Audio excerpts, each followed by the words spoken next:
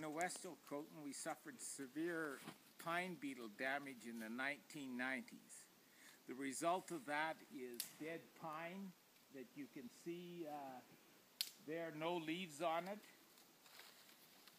What we do is we harvest the dead pine within our property. This little basin we're in is ideal because it slopes into this basin from all sides so I can cut the pine uh, and then drag them down the slope into the uh, little basin.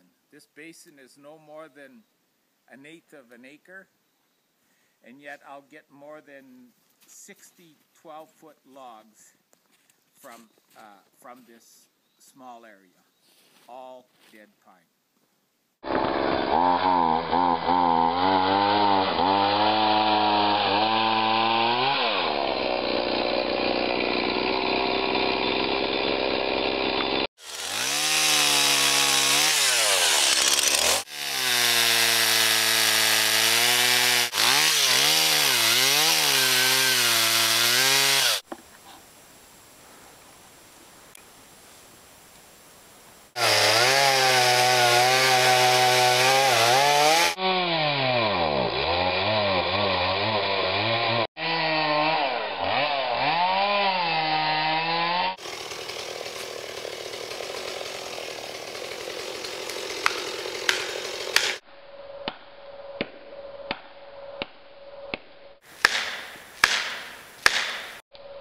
Timber!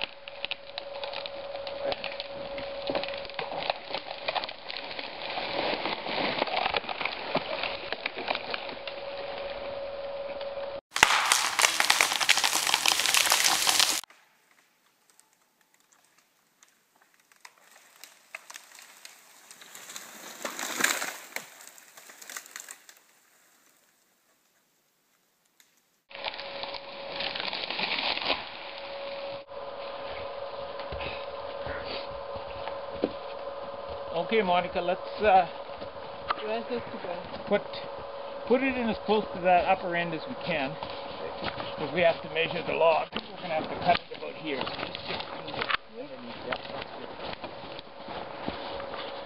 Okay. Yeah, we're right on, right here. We can cut it. Okay.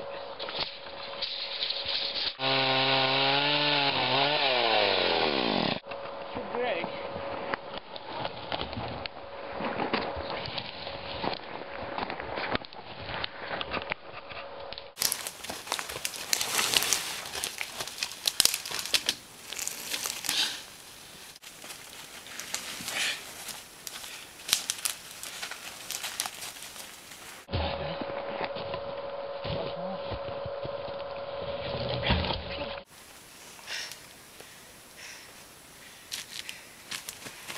We're going by a nice ghost stump here.